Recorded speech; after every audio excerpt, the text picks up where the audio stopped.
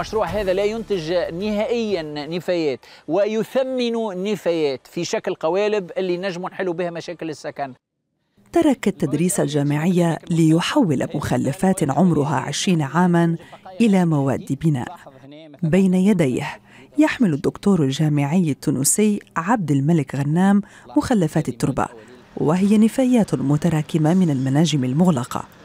ومن خلال عملية إعادة التدوير استطاع غنام أن يحول هذه المخلفات إلى طوب يستعمل في البناء صديق للبيئة.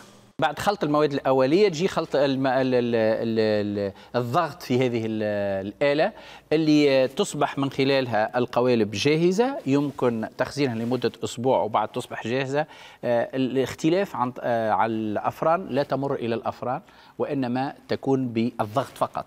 ويمكن أن تلاحظوا أنها متماسكة بدون آه، بدون أن من اليوم الأول يعني متماسكة. توفر عملية البناء بالطوب الترابي ما يصل إلى 50% من التكاليف وتسرع من عملية البناء.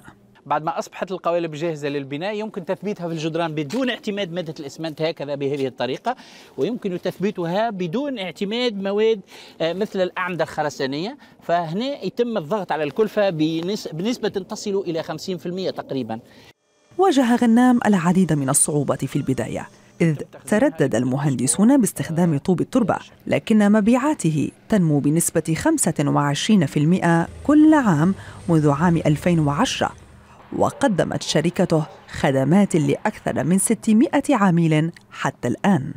ونعتقد أن السكن الإيكولوجي هو خيار استراتيجي وهو اللي باش يعم مستقبلا. ليش؟ لأنه العالم يعيش على وقع أزمات الطاقة المتعددة يعيش على أزمات آه، التغيرات المناخية.